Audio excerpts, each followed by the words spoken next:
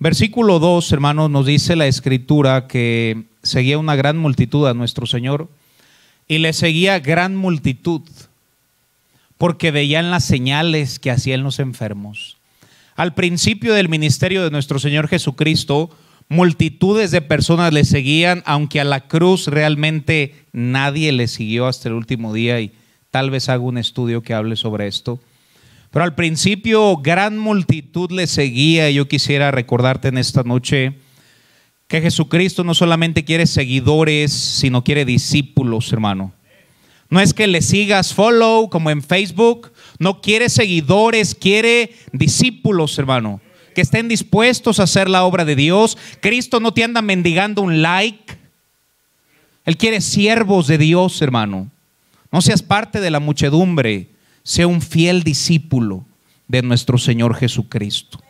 Versículo 3, después de aquella multitud se acerca, Cristo sube a un monte, dice la Biblia que Jesús subió a un monte, evidentemente toda la gente estaba abajo, ahorita veremos cuánta gente, porque es evidente reconocer que no eran cinco mil, aunque la Biblia le llame la alimentación de los cinco mil, es obvio que había más de cinco mil personas, ahorita lo veremos.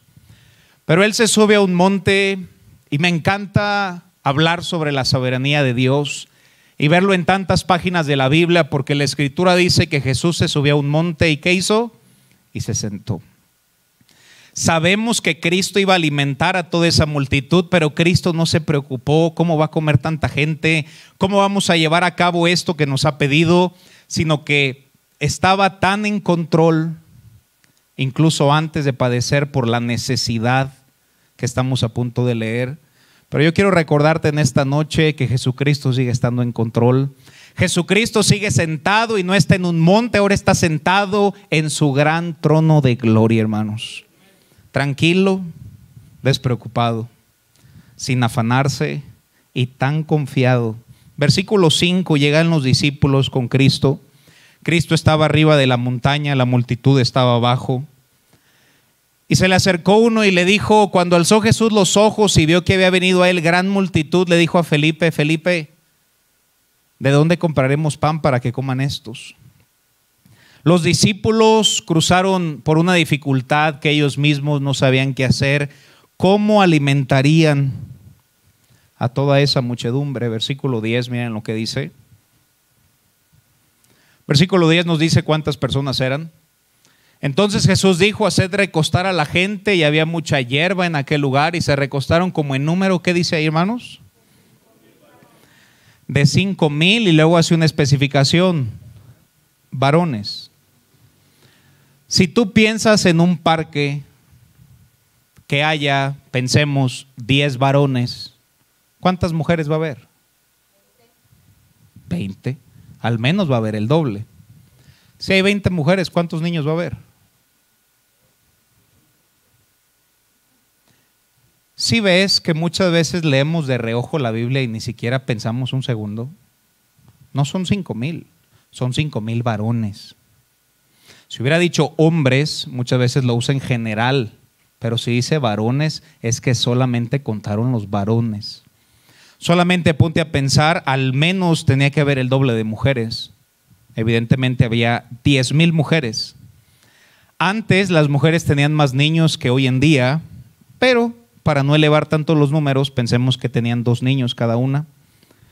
Entonces ahora son 20 mil niños. Entonces ya no son la alimentación de los 5 mil, ya estamos hablando de la alimentación de los 35 mil, sin exagerar un número. ¿Cuántos panes se requerían para alimentar a 35 mil personas? Esta gente dice la Biblia que estaban en ayuna, en ayuno. ¿Cuántos panes traía el niño, hermanos? Cinco. Ahora, si un niño comía cinco panes, ¿cuántos panes comía el varón? ¿Estaremos de acuerdo que un adulto come el doble que un niño? ¿Sí? Entonces, ¿el adulto cuántos panes iba a comer? Diez. Las mujeres, ¿cuántos panes creen que come cada mujer? Tres y de linaza. Pongámosle tres integrales. Tres de linaza con yogur light. y mermelada con esplenda. Si tenemos cinco panes por niño y son 20 mil niños, estamos hablando de 100 mil panes solo para los niños. Si hablamos que había cinco mil varones, que la Biblia lo dice, y si comieran 10, estamos hablando de 50 mil panes. Y si las mujeres light se comían tres de linaza, son 30 mil panes. Y si lo sumas son 180 mil panes. Sin exagerar la historia. Versículo 5. El discípulo se le acerca al Señor y le dice, Felipe, ¿de dónde vamos a comprar pan para que coman estos? ¿Cómo es posible, Señor, que tanta gente pueda comer? En ese tiempo no había Walmart o la comercial mexicana o Sams. Ni siquiera tenían una farmacia Benavides, hermano. Tenían mercados en esos días, incluso hoy en los días de Israel sigue habiendo esos mercados. Si acaso, hermanos, exageradamente en una panadería de hoy en día, ¿qué te gusta que haya? ¿500 panes, hermano? Exageradamente en algo muy grande habrá dos mil panes. Versículo 6, fíjense lo que dice la escritura. Pero esto decía para, ¿qué palabra dice ahí? Si tienes tu Biblia, letras en rojas, esas son letras de Cristo.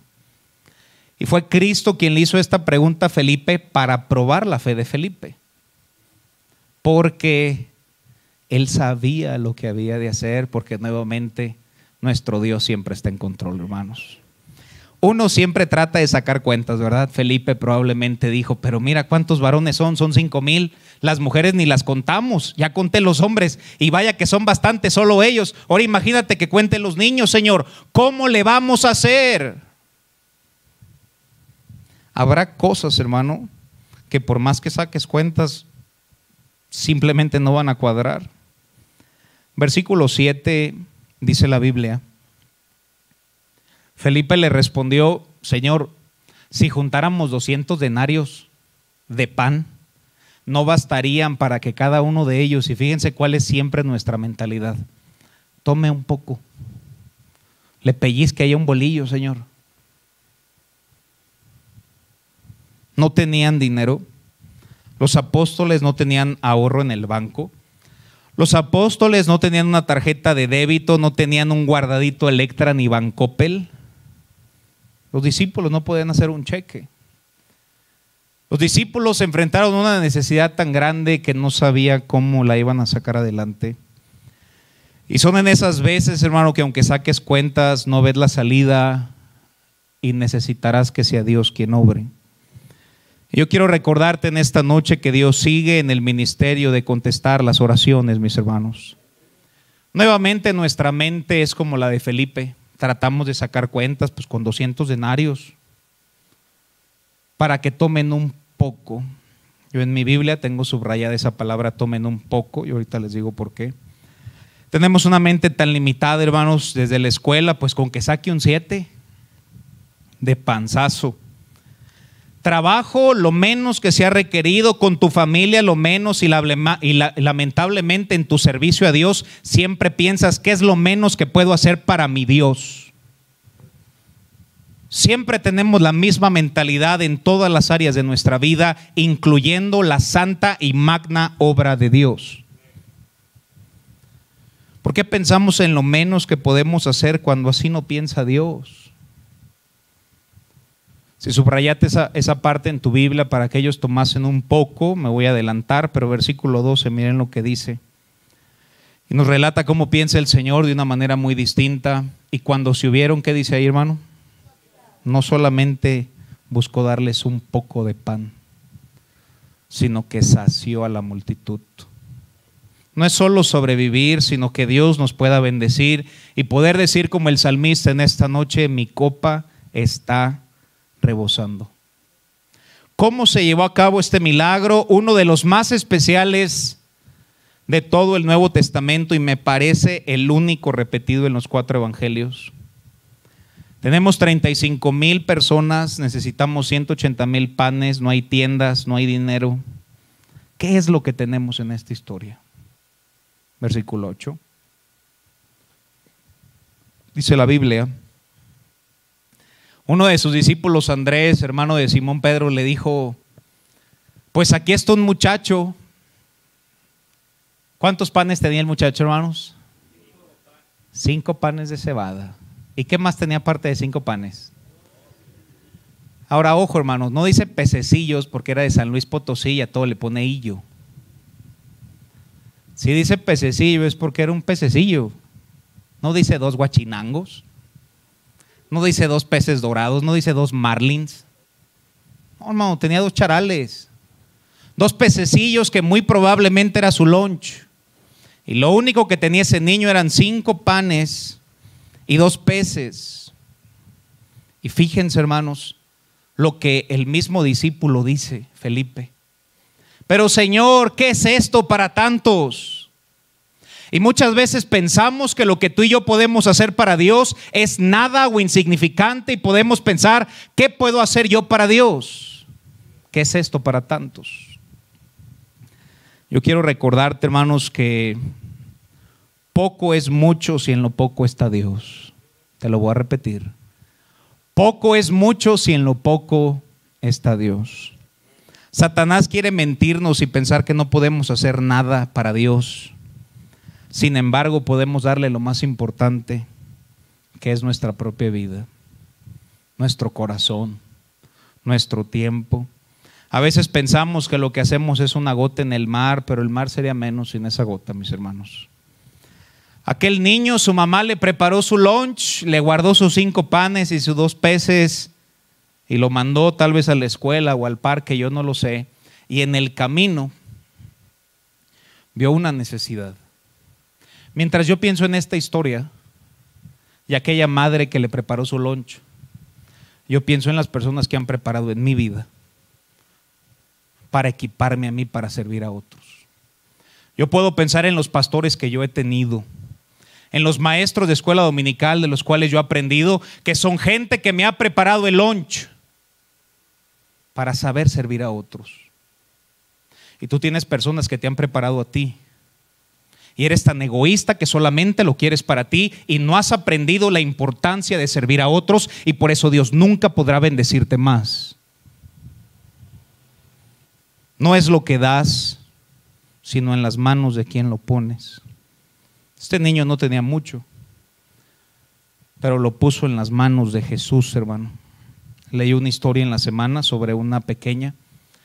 Esta niña tenía su saloncito de escuela dominical y no cabía, ni recordé en nuestra iglesia cuando el grupo de escuela dominical era en ese lugar y cómo salían como si fuera un sauna, todos sudados, los pequeños, y gracias a Dios como Dios ha bendecido al poder tener este otro lugar. Pero aquella niña quería ayudar para construir un salón más grande, pero no tenía recursos. Aquella niña empezó a ahorrar y ahorró 3.17 dólares. 3 dólares con 17 centavos. Esta pequeña falleció y su madre llevó sus ahorros, 3 dólares y 17 centavos. Y uno pudiera hacer la pregunta, ¿y qué es esto para tantos? el pastor decidió vender cada centavo en 100 dólares y juntaron 31.700 dólares y se hizo el salón más grande. Porque no es lo que damos, sino en las manos de quien lo ponemos. Amén, hermanos. Quiero hacerte una pregunta. ¿Cuándo ha sido la última vez que tú apoyaste tu iglesia? Siento mucha confianza en predicar de esto porque no te he hablado de recursos en ocho meses. Y si soy un fiel ministro, debo hablarlo. ¿Cuándo ha sido la última vez que tú apoyaste tu iglesia? ¿Cuándo ha sido la última vez que sacrificaste para el lugar que cómodamente está sentado en esta noche? No pueden decir que sea un pastor que hable mucho de recursos y tengo nueve meses sin mencionarlo. Sin embargo, está en la Biblia y te pregunto, ¿cuándo ha sido la última vez que tú has apoyado tu iglesia? Yo no sé, hermanos, si tal vez todos piensan, pues que alguien más apoye. Y si todos tenemos la idea de que otro más apoye, nadie va a apoyar. Amén. Esta mañana, hermanos, nunca hablo explícitamente de cifras, pero hoy en quincena, hermanos, apoyaron su iglesia con 1.974 pesos. ¿Tú has apoyado tu iglesia? ¿Has hecho algo por la obra de Dios? Bueno, ¿y qué de otros servicios o por internet? Por internet apoyó una persona y el servicio del miércoles. Aquí está el contador. ¿Cuánto entró el miércoles? 500 pesos, hermanos, y apoyando misioneros. ¿Por qué no te importa la obra de Dios, hermano? ¿Por qué no apoyas la obra de Dios? No digas que amas a Dios si no apoyas. La Biblia es muy clara y lo vamos a ver en esta noche. Yo me pregunté, hermano, si no fue la ofrenda, esta iglesia sigue adelante aunque nadie dio un peso. Y número dos, no predico por dinero. Pero ¿por qué no amas la obra de Dios, hermano? ¿Por qué tan pocas familias apoyan su iglesia? ¿No te importa la obra de Dios? Lo que más me dolió no fue la ofrenda, sino ver que tu corazón no esté en este lugar. Que no te importa, hermano. No te importa la iglesia. No te importa su obra. Dios usa este mensaje para motivarnos a hacer más para su obra. Y la enseñanza de esta noche la aprendamos acerca de un niño que tenía cinco panes y dos peces y lo dio a Jesús. En esta historia un niño decidió apoyar una causa. ¿Cuántos panes dio el niño, hermanos? ¿Pudo haber dado tres? Ahora sería malo si él hubiera dicho, pues voy a dar dos panes y medio y yo me quedo con dos panes y medio. ¿Sería malo, hermano? Pero dio todos sus panes. ¿Sabes que nunca es cuestión de cantidad, sino que tu corazón esté ahí? ¿Cuándo ha sido la última vez, hermano, que tú digas, yo quiero poner un arreglo de flores? Pastor, y es Navidad, quiero poner una flor de Nochebuena. ¿Cuándo ha sido la última vez que hiciste una sola cosa, hermano? Una. Hermano, no solamente dio un pescado, tenía dos pescados y dio los dos pescados. Tenía cinco panes y dio los cinco panes. Hoy la invitación es a que te involucres apoyar. ¿Cómo puedo apoyar? Número uno, orando y número dos, apoyando y todos los que estamos aquí podemos orar y apoyar. Amén, hermanos. Ahora la pregunta es, ¿por qué no lo haces? ¿Qué es lo que la Biblia dice sobre este tema, pastor? Vayamos a Levítico capítulo 1, versículo 3 y ve que todo lo que te enseño está basado en este libro. ¿Cómo debe ser nuestro apoyo? Número uno, debe nacer de tu voluntad. Levítico 1.3 dice la Biblia, si su ofrenda fuere holocausto vacuno, macho sin defecto. A continuación, ¿qué dice? ¿Lo ofrecerá? ¿Qué dice ahí, hermanos? Es su voluntad. ¿Alguien te ha obligado en este lugar a ofrendar, hermano? No, y nunca va a ocurrir. Y si nunca quieres apoyar, nunca lo hagas. Sin embargo, la pregunta es, ¿por qué no nace de tu corazón apoyar? ¿No crees que estás enfermo? ¿No crees que no estás haciendo lo que Dios te ha mandado hacer, hermano? No, ni siquiera hemos pasado el plato en ocho meses. Pero ¿por qué no has apoyado tu iglesia? Número uno es voluntario. Número dos, vayamos a segunda de Samuel 24, 24. Número uno debe ser voluntario el decir, Dios puso en mi corazón apoyar mi iglesia. Número dos, no debes ofrecer algo que nada te cueste. La escritura dice, porque no ofreceré a Jehová mi Dios holocausto. ¿Qué dice ahí, hermanos? Vamos a decirlo otra vez, hermanos. No ofreceré, sino que por precio te lo compraré porque no ofreceré a Jehová mi Dios holocausto. ¿Qué dice ahí? ¿Cuánto te ha costado a ti, hermano? Tú puedes decir que por la gracia de Dios apoyaste con una banca. Puedes ver que tu nombre está en un ladrillo.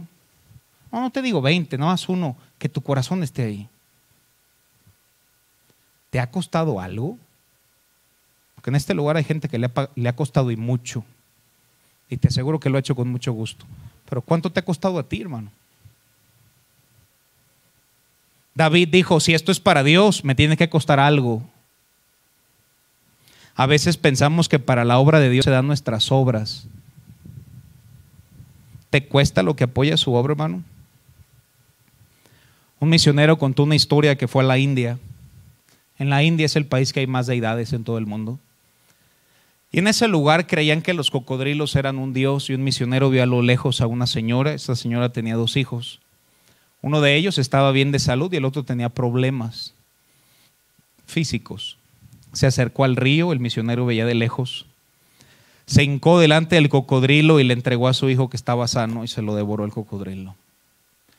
Para el misionero fue tanto shock en su cabeza que fue y le preguntó al misionero, disculpe que te pregunte, le preguntó a la señora, perdón, pero si le ibas a entregar tu hijo, ¿por qué no le entregaste el otro? Y ella le dijo, porque le tengo que dar lo mejor a mi Dios.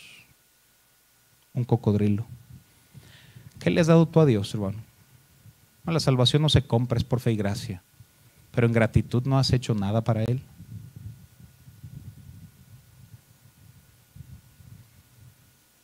Pregunta, hermano, ¿tú crees que ese niño le costó entregar todo lo que tenía? Contéstenos, ¿le costó al niño? ¿Tú crees que los niños, por, hermano, mi sobrina no me invita una papa? Hermano, los niños no dan. Pero este niño vio una necesidad y dijo, pues, yo no sé si puedo ayudar, pero tengo cinco panes y dos peces. Aquí están, Señor, ¿puedes hacer algo con esto? Claro que le costó, hermano. ¿Te ha costado a ti algo? Nuevamente no es para ser salvos, la salvación no se compra. Pero en gratitud haz algo para el Señor. Punto número tres, hermano. Nunca ofreces, nunca ofrezcas lo que te sobra. Proverbios capítulo 3, versículo 9, miren lo que dice. Proverbios capítulo 3, versículo 9 dice la escritura. Honra a Jehová con quién? Con tus bienes, hermano. Eso significa recursos. Honra, tenlo en alta estima con tus bienes. ¿Y con las qué palabra dice ahí? ¿Es lo que te sobra o tu primicia? En cuanto Dios a mí me bendice, yo tengo que separar mi primicia y decir esto es para Dios. Y cuando pasa el plato de ofrenda, o si no pasa, yo voy y le digo, Señor, gracias porque has sido fiel a mí. ¿Está o no está en este libro, hermano? Y ahí me impresiona que hay uno que otro y el que se enoja te voy a decir por qué. Porque quieres más tu dinero que a tu Dios. Y eso es una tristeza. Versículo 10, mira lo que dice. Y serán llenos tus graneros con abundancia y tus lagares rebosarán de mosto. Debemos honrar a Cristo con las primicias. No es si me sobra, porque nunca nos va a sobrar honrarlo con tus primicias. ¿Qué es lo más triste de todo esto? Lo más triste de todo esto, hermanos, es que Dios no tiene tu corazón. Vayamos a Mateo capítulo 6, versículo 19. Y quisiera preguntarte en esta noche, ¿dónde está tu corazón, hermano? Hermana, ¿dónde está tu corazón? Porque no es su obra. Mateo 6, 19 dice, no hagáis tesoros en la tierra donde la polilla y el orín corrompen, donde ladrones minan y hurtan, sino haces tesoros en el cielo, donde ni la pollina, ni la polilla, ni el orín corrompen, y donde ladrones no minan ni hurtan, y ojo con lo que está a continuación, porque donde esté vuestro qué, ahí estará qué. ¿Quieres saber dónde está tu corazón en esta, en esta noche, hermano? Te voy a ayudar. ¿En qué gastas? Si gastas en tu casa, el corazón, tu corazón está en tu casa. ¿En qué gastas? ¿En tu carro? Tu corazón está en tu carro. ¿Has apoyado la obra de Dios? ¿Te importa la obra de Dios?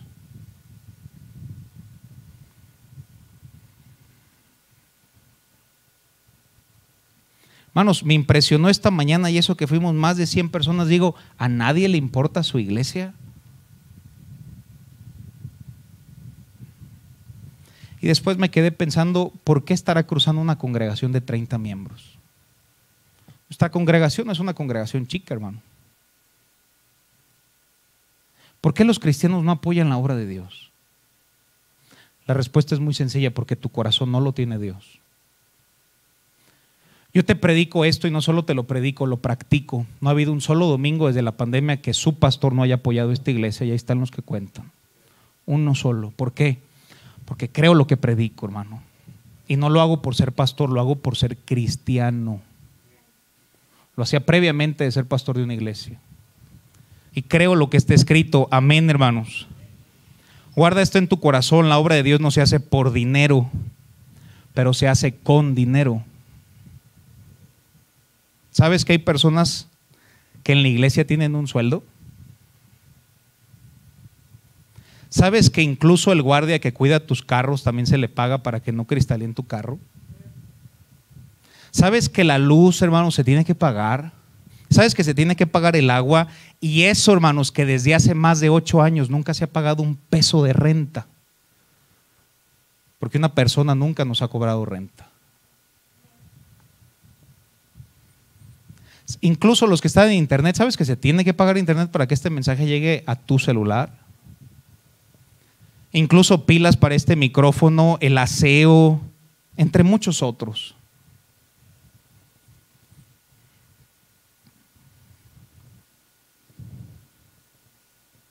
Lo que me lleva a decir, hermano, qué triste que tu corazón no lo tenga el Señor.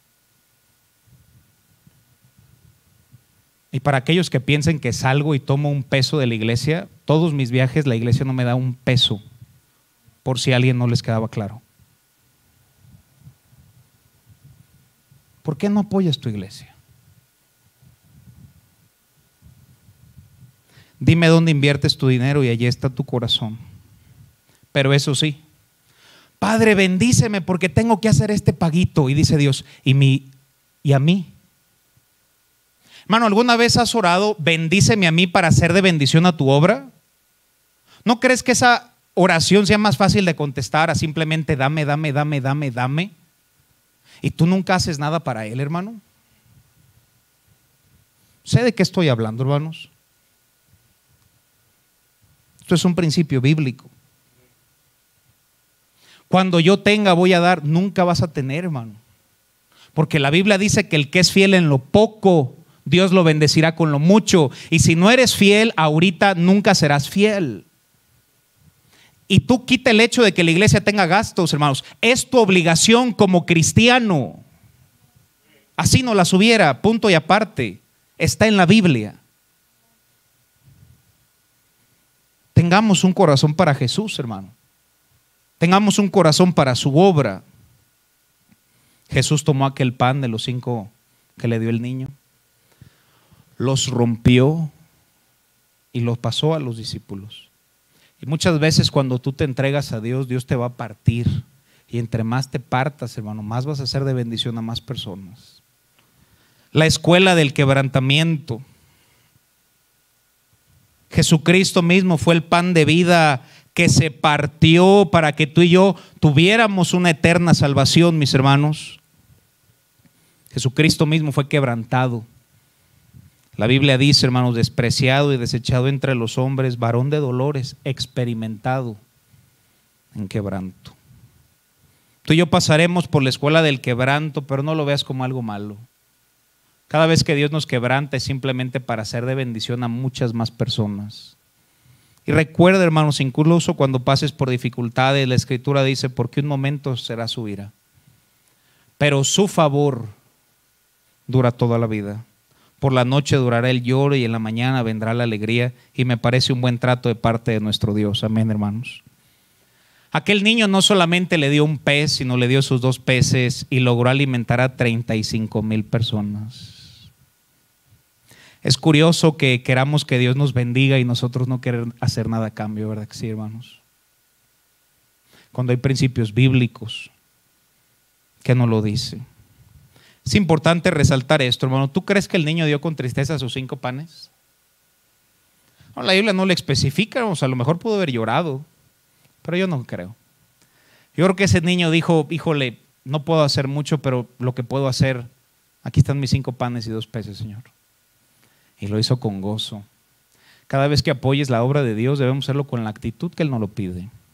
Mira lo que dice 2 de Corintios 9:7 y te doy Biblia para que veas que ahí está escrito. Segunda de Corintios capítulo 9, versículo 7 dice la Biblia. Cada, ¿qué palabra dice ahí? Dice cada familia. ¿Cómo dice la Biblia? O sea que es una responsabilidad personal. Aquí no se trata de que mi familia apoya, no, tú apoyas. O tú no obedeces lo que Cristo nos ha pedido. Cada uno. ¿Cuál es la palabra que sigue? De. Como propuso en su corazón. Significa que yo antes de la iglesia yo propuse en mi corazón cómo voy a apoyar. ¿Tú propusiste algo en tu corazón esta noche antes de venir? Cada uno de como propuso en su corazón, ojo, no con tristeza. Hombre, hábleme de Filipenses 4:13, pastor. Hábleme que todo lo puedo, todo lo puedo cuando lo honras. Mi Biblia dice, yo voy a honrar a los que me honren. Y Dios, escúchame bien, no es deudor de nadie, mi hermano. Pero si no lo honras, ¿por qué Cristo debe honrarte? No tiene por qué honrarte, hermano no con tristeza y ojo, ni por necesidad. Hay gente que predica, dale un peso a Dios y Él te da dos. Eso no está en la Biblia. No, Dios ya te bendijo y por eso le regresas un poco de lo que te ha dado. Amén. No por tristeza, ni por necesidad. Y juntos leamos lo que sigue porque Dios ama al dador alegre, como que muchos hermanos, esa parte de la Biblia, como que esa parte ya no está inspirada. ¿Verdad que nos gusta creer solo ciertas hojas y ciertas no? ¿Por qué hacerlo, hermanos? ¿Por qué predicar de este tema? Versículo 8, dice la Biblia, y poderoso es Dios para hacer que abunde, que abunde en quién? Pero ¿cómo yo voy a apoyar y Dios va a abundar en mí? Por supuesto, porque Dios ve mi corazón. Yo tengo un amor para la obra de Dios. ¿Tú crees que Dios no me va a bendecir más? ¿Tú crees que si tú tienes un corazón para Dios, Dios no te puede bendecir más? Y dice la Biblia, y poderoso es Dios para hacer que abunde en vosotros toda gracia. A fin de que teniendo, fíjate hermano, siempre en todas las cosas, todo lo suficiente, abundes para toda buena obra todos queremos vivir en el 8, amén hermanos, que Dios nos bendiga. Pero a todos se les olvida el 7. Si quieres el 8, primero cruza el 7. ¿En quién abunda? En nosotros, para toda buena obra. Terminamos nuestra historia, hermanos. Vayamos a Juan capítulo 6, verso 12. Aquel niño vio una necesidad. Mismo discípulo dijo, pero ¿qué es esto para tantos? poco es mucho si en lo poco está Dios da sus cinco panes y dos peces, no dio tres panes y un pez, dio los cinco panes y los dos peces. Y dice la escritura, y cuando se hubieron saciado, ¿cómo es posible que se hubieran saciado tantas personas con cinco panes y dos peces? ¿No crees que por ahí obró Dios, hermano? Y dijo a sus discípulos, recojan los pedazos que sobraron ¿Cómo iba a sobrar de cinco panes y dos peces, hermano? Para que no se perdiese nada. Versículo 13 y último. Recogieron pues, ¿y cuánto llenaron, hermano? ¿Con cuánto empezaron? ¿Cuánto sobró? Yo he escuchado enseñanzas que dicen, no, pues como eran doce apóstoles, una para cada apóstol tiene cierta validez, pero no es lo que yo creo. Yo creo que las dos es estas se las quedó el niño. ¿Te imaginas ese niño dio cinco panes y dos peces y después regresa a su casa con doce cestas? ¿Te imaginas llegar con su mamá que crees, mamá, esas cinco panes y dos peces se los entregué a Jesús y llegué con doce canastas de pan? Después comenzó una panadería y ahora la llamamos el globo.